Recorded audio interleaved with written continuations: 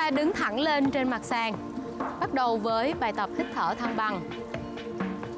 Hít vào hai tay lên chân nhón gót.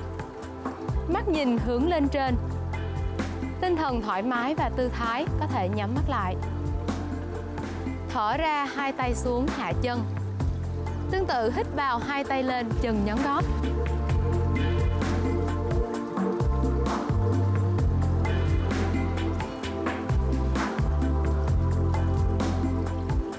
Chặt cơ đùi, kéo căng toàn thân.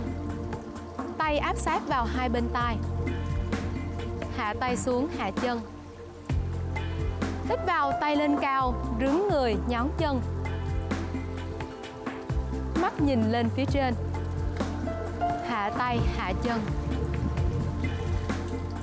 Thực hiện động tác liên tục 10 lần. Hít bằng mũi và thở ra bằng mũi. Ta sẽ tiếp tục cùng với động tác thăng bằng thứ hai. Với động tác này, hãy đặt lòng bàn chân của mình vào bên trong má đùi trong.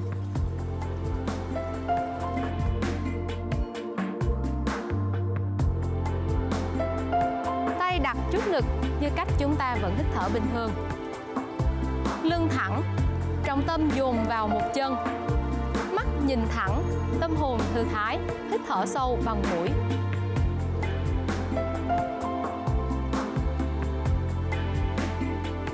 Ở động tác này chúng ta có thể giữ lâu hơn một chút.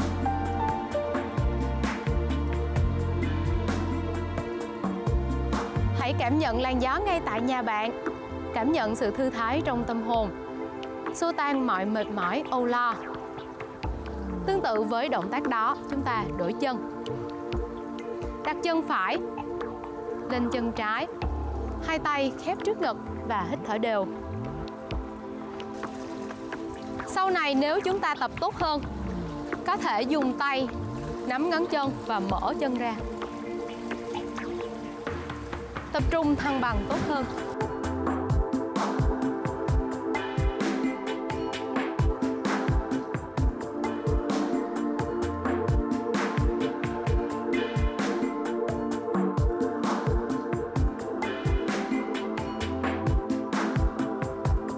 Nhẹ nhàng hạ chân về trước tự chúng ta đổi bên.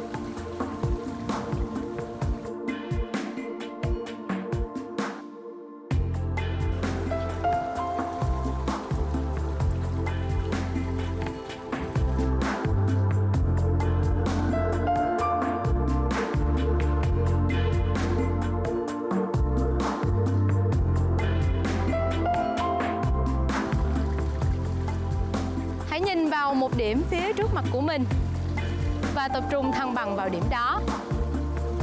Chân thẳng, đầu gối thẳng, siết chặt các nhóm cơ, hít thở đều. Thở ra, trở về.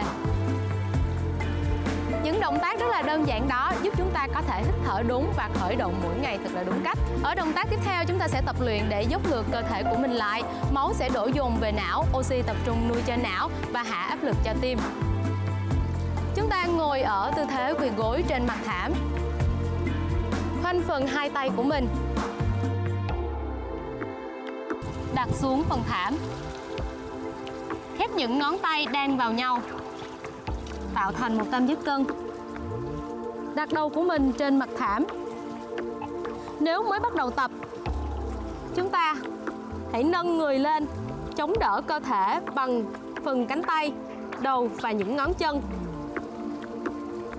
nếu tốt hơn, chúng ta có thể đứng tựa vào tường, nâng dần phần chân lên.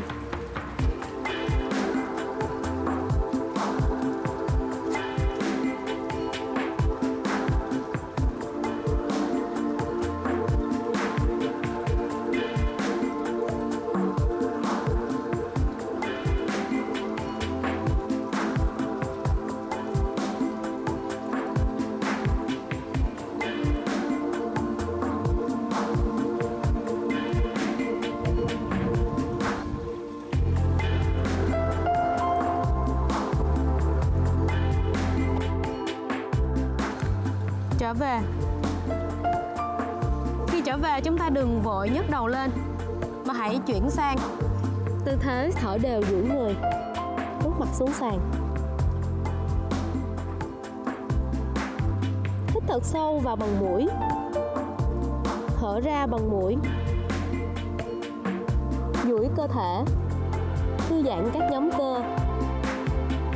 Hít sâu vào khoang bụng, căng lên thở ra bụng sập xuống.